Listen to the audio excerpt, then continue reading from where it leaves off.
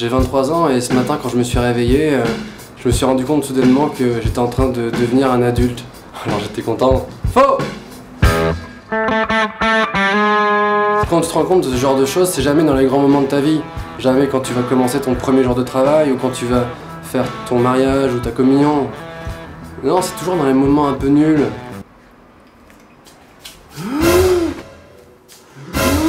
Bleu, mon bleu. C'est fini l'époque où tu pouvais te la péter avec ta montre flic-flac à l'école.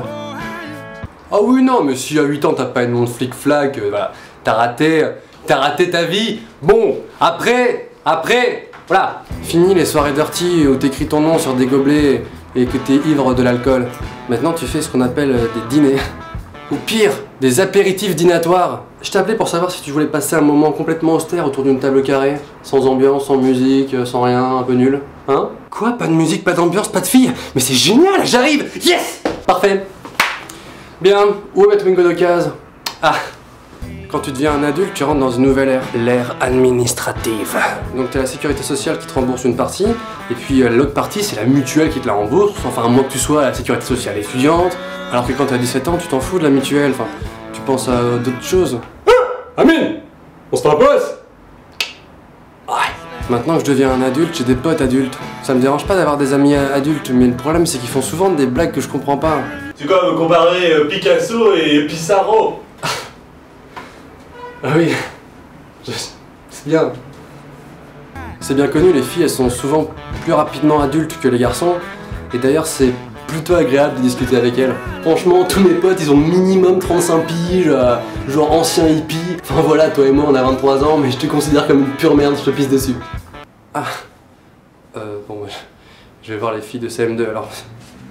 Avant, ta grand-mère, elle t'envoyait pour Noël ou ton anniversaire une petite enveloppe avec un peu d'argent et tu pouvais t'acheter un petit cadeau avec, tu te faisais plaisir, enfin.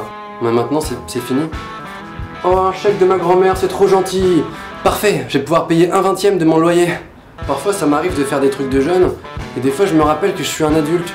Alors, je culpabilise et je, je me sens mal. Mais pourquoi je fais ça? C'est complètement stupide. Je suis un adulte maintenant. Moi, tout ça, ça me fait un peu peur. J'ai peur que bientôt on envoie comme nos parents des textos avec des points entre les mots. Bonjour, point fiston, point. Ça, point. Va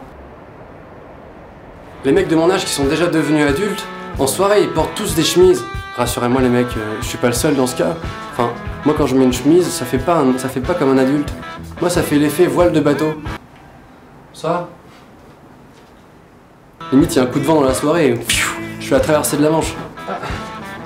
Non mais sérieux, ils font comment les mecs pour porter leur chemise Moi mon corps n'accepte pas la chemise. Je refuse de porter ce vêtement Puis encore un truc, c'est encore plus compliqué, c'est la cravate.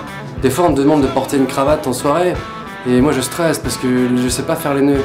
Je regarde sur internet, sur Google, comment faire un nœud de cravate.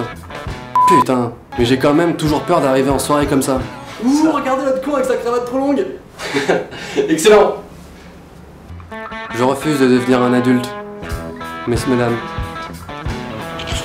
Au fait, maintenant il y a une page Facebook Norman fait des vidéos. C'est ça Aïe. C'est ça Aïe